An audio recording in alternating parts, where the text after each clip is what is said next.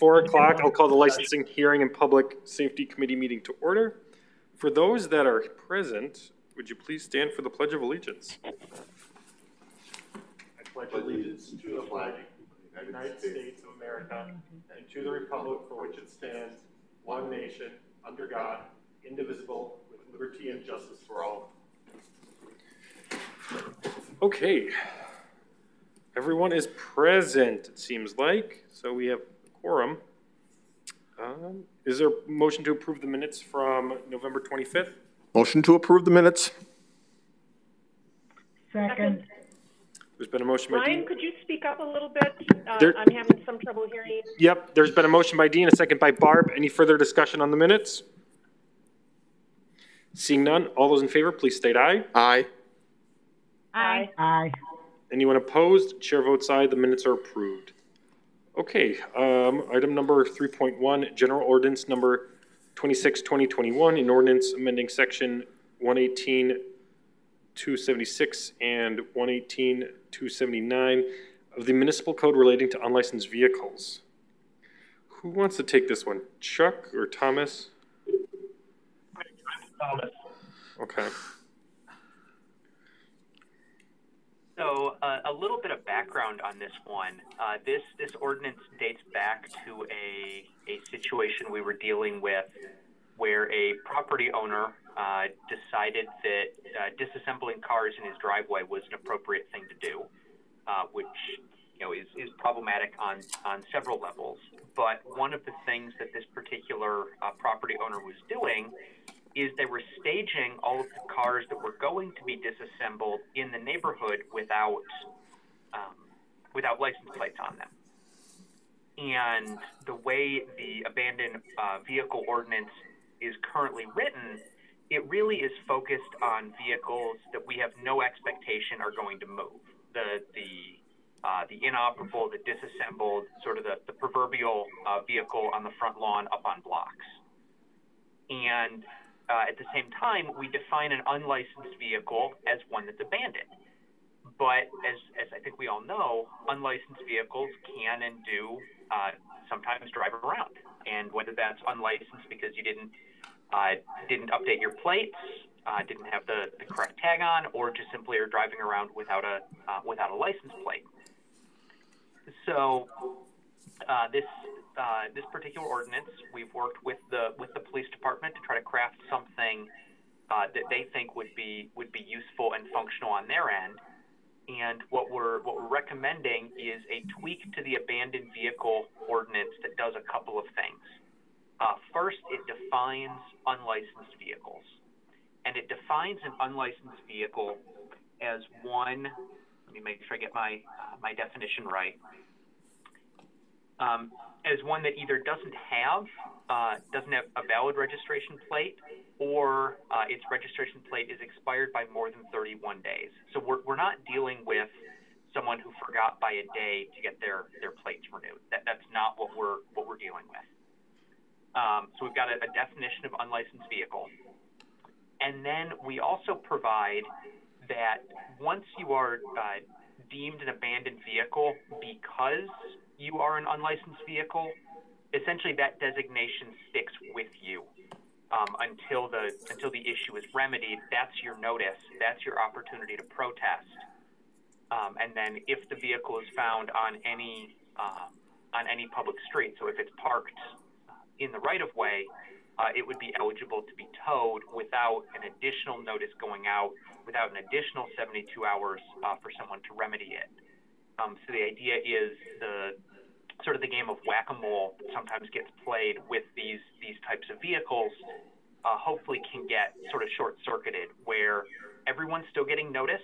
Um, you know, due process is obviously uh, very very important uh, and was was a, a, key part of how we how we structured this this revision. Um, but in the case of a vehicle that may well move, you're getting that notice once. You're still getting notice every time your vehicle is towed, uh, but making it very very clear up front that if your vehicle is towed because it's unlicensed, you keep that abandoned vehicle designation until you get your vehicle licensed, which is ultimately ultimately the goal. Awesome. Any questions from anybody? Mary Lynn? Um, so I have a couple of issues. Um, as a former traffic prosecutor, um, I know that, uh, at least in the jurisdictions that I represented, the police would typically not issue a citation for an, uh, an expired license plate until it was at least three or four months, sometimes six months out of date. And the reason for that is um, people move, mail is not forwarded. I had a number of cases where parties were divorced and, you know, there was a lack of communication. Um, sometimes uh, people get a notice and they simply forget. Um, so I think 31 days, and then of course the, the delays from from DMV. Typically, you know, if you submit at the very last minute, typically you'll get, you know, your plates or your renewal rather relatively quickly, um, uh, but not necessarily. Um, so, uh, Thomas, walk me through. Um, uh, we were in the process of moving, and the uh, notice that I got from the DMV to renew my license got lost. Um, and it's now been more than 31 days. And I have the car parked either on the street or in my driveway. What happens under the abandoned vehicle? Just walk me through how you envision the process. Yeah, so there, there's sort of the, the absolute letter of the law, and I think there's there's the intent behind it. And the, the intent behind this is to provide a very specific tool um, for sort of the, the, the whack-a-mole type situation where we've got this this recurring situation. Um, the idea isn't to try to start towing people because the mail gets lost and you've got a, a vehicle um, that's that's at 31 31 days as just sort of a, a matter of course. Um, I know based on my conversations with the police department, and this this isn't a, a step uh, written into the ordinance, but one of the things that they've talked about is, you know, it's it's crucial for any number of reasons to really try to make contact with the person before we get to this point. Um, to, to speak with, you know, try to make contact with the, the property owner, with the vehicle owner, um, and, and to identify, you know, what, what's going on here um, you know, to, to issue the abandoned vehicle uh, citation. I see that the chief is uh, has turned on his camera. I'm not sure if he's gonna uh, gonna add something. You know, in, in general, this isn't the, the first move. It's not congratulations, you're at 31 days. Here's a here's an abandoned vehicle ticket. We're going to tow your car. Um, the the idea was to provide a definition and to provide a definition that was something other than you are one day late you know, I, I think the, the way the way it's written now, I think it, it would provide that if you're one day late, that's an, an unlicensed vehicle. Yeah, I think. I mean, I that is the way it um, reads. as, as, currently written, and, and I don't think I don't think that's how it's. Uh, I, I don't think that's the, the desired uh, result. I, I see what you're trying to do, and it makes complete sense. Um, how many of these scofflaws do we have? that are moving vehicles around. And I get, I have gotten at least two in my eight years. I've gotten two calls from constituents who are really upset, understandably, with these junk cars, you know, hanging out in driveways and things like that. So I'm not hostile to what you're yeah. what you're trying to do. I'm just, um, you know, we can always talk about, you know, it's not the intent, but you know, what's written is written, and um, I'm just wondering, can we like do cheap 45 days? You know? Yeah. I don't know. Maybe it'll be fine.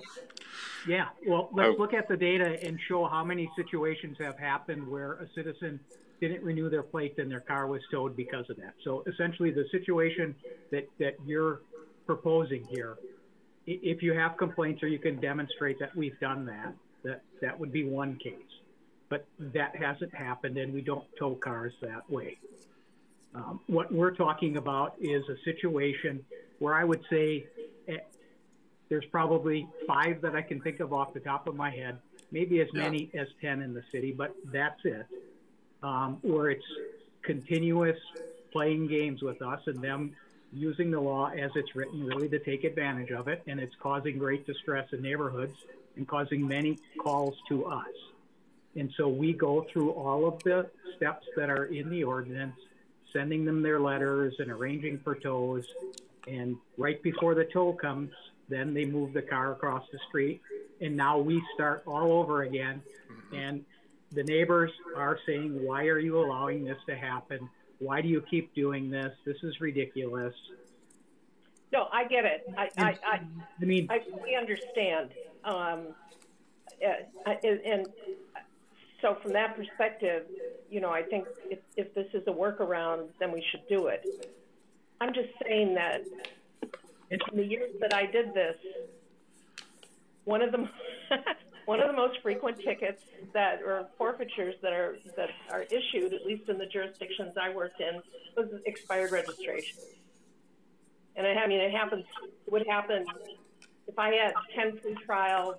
You know, four would be unregistered. You know, uh, unreg- or uh, uh, failure to register register a vehicle, and um, so we're, I, and, I, and I understand totally what you're saying, but the point that I'm trying to make is what we're talking about here is towing abandoned vehicles. right. So car, cars that are just not registered because somebody hasn't responded quickly, the problem would get fixed way before we got to the point where we're towing. Okay, sounds good. Dean, you had a thought? Uh, I just want to throw out a few comments. Th- th- th- This, I guess, I, I'm one of the persons that pushed for this ordinance because of, it, it did happen in, in the Indiana, Indiana corridor. Uh, it also happened in the King Park area. They had some, some issues down there. Um, what, we, I mean, we, we had the, the gentleman that, that was the onus for this, um, would, uh, actually, there were cars with flat tires literally sitting on the street. He would move them, uh, and then the process would have to start all over again. Uh, you know, and as long as the, you know, the police couldn't sit on this car, these cars and watch them all day, so the guy would just wait until the opportune time, move the car, now the clock has to start all over again. And, uh, it, it is frustrating when you, especially when these cars are the way they are. There, there, you know, there's no license plates on them, or the license plates don't even belong on the car. Um, they're, they're generally, were, were, were not registered to people even in Sheboygan. They were, you know, what, what happens is, is the- these just gentlemen would buy cars. He never, um, would transfer the title or anything like that. He would keep them under, under the previous, uh, title holder, uh, title holder's name, and they would just be sitting all over. And they would actually be parked two, three blocks away from his, his residence, just to kind of avoid all this, you know, try to, try to, um, avoid all this. And he kept moving them around, so, um, that's where this comes from, I guess, uh, so I, uh, this, I, I'm hoping that you guys will support this. Yeah, and if I could just speak to, and I, I do appreciate Dean's kind of work on this too, and a lot of the, the members of the Kings Park Neighborhood Association that I've talked to, we've had some issues in our neighborhood. Um, you know, with folks kind of running their own little chop shops in their neighborhood too, so I, I'm supportive of this for sure. Um, and I hope that this does give us the teeth to kind of, um, really address some of the problems that we're facing in, in our neighborhood associations, Yeah. so. I guess, are there any more And questions? Ryan, this may just be me, but I'm still having trouble hearing you. Sorry, I'm, I'm leaning too far away from the mic today. I'll get a little closer here, Mary Lynn, for you. Um, are there any other thoughts or any other? Thank you, Ryan. There's no worries. I appreciate it. Any, any other? Mother Feldy here, sit straight. I know, sit up. Um, any other thoughts or comments or motions? Uh, I make motion to approve. Second, There's been a motion by Dean, second by Mary Lynn. Any other thoughts or discussion? Seeing none, all those in favor, please state aye. Aye. Aye. Anyone opposed? Chair votes aye. That will be forwarded on to the council. Awesome. Three point two, RO number ninety-eight, twenty twenty-one, submitting various license applications for the period ending June thirtieth, twenty twenty-two. Beverage operating license application number three three nine four, three four oh six, and a change of premise application thirty-three eighty-one for Meijer. City Attorney? Yes, so uh, we are recommending, first of all, that you uh, grant the application of Stephanie Kane. We reviewed that one and decided that that should be re- uh, re- uh, uh, granted. Uh, We are, um, we'll, we'll do, some- we'll go separately on the other ones. I think that's probably the best way to handle it. So first, a motion to approve Stephanie Kane. Motion to approve Stephanie Kane's license application? Second. It's It's been a motion and second. Any further discussion? Seeing none, all those in favor? Aye. Aye. Aye. Anyone opposed? Chair votes aye. Next one. Okay, and then on, um, Amber Arnsey, uh, I assume she is not in the, uh, in the crowd? She is not in the crowd. Nope. Okay. So uh, we are recommending uh, denial uh, of this license. We did uh, send her a letter indicating that if she wished to have a hearing, uh, she could do so. Uh, She did not respond to us, and it appears she has not appeared today as well. So on that basis, you can uh, simply uh, deny based on her record of uh, uh, violations uh, uh, relevant to the licensed activity uh, uh, at this point. So that would be our recommendation. So move. Second. There's been a motion and second to deny Amber's license. Any further discussion? Seeing none, all those in favor, please state aye. Aye. Aye. Aye. Anyone opposed? Chair votes aye.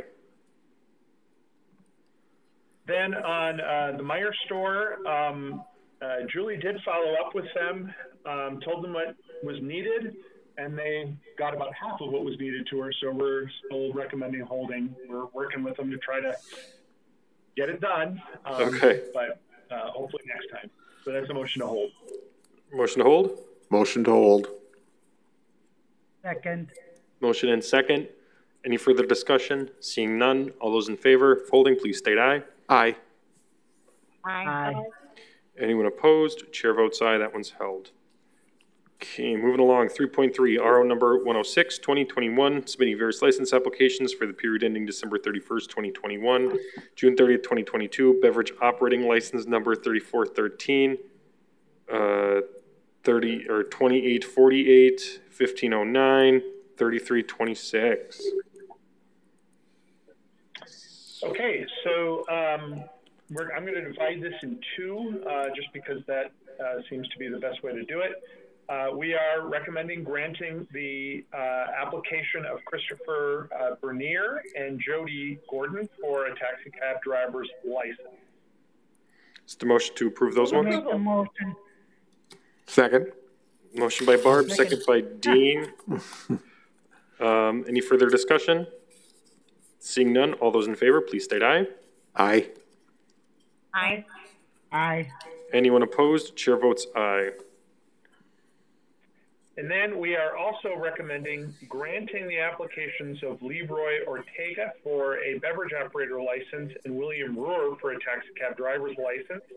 But both of those should come with warnings. Uh, Ortega's because of a history of violations related to the licensed activity, which were of concern, but staff felt were sufficiently attenuated in time to warrant granting. And Rohr because of a recent crash in his taxi cab.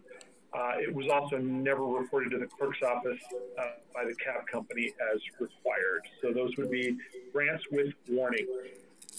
Motion to grant with warnings? Motion to grant with the warnings. Is there a second? Motion by Dean, second by Mary Lynn. Any further discussion? Seeing none, all those in favor of granting with the warnings, please state aye. Aye. Aye. Anyone opposed? Chair votes aye. Three point four, RO number thirteen, twenty twenty-one, taxi cab license renewal application thirty twenty-two, third, twenty-three, excuse me.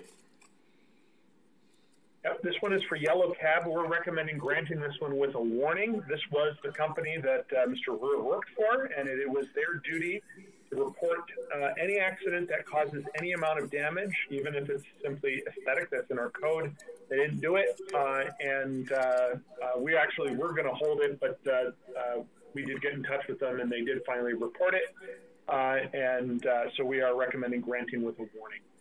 Motion, is there a motion to grant with the warning? Motion to grant with a warning. Is there a second? Second. Motion by Dean, second by Mary Lynn. Any further discussion? All those in favor of granting with a warning, please state aye. Aye. Aye. Anyone opposed? Chair votes aye. All right, three point five, RO number 114, 2021, taxi cab business license application number thirty-two fifteen. This is Two Guys Taxi Service. We're recommending granting this license.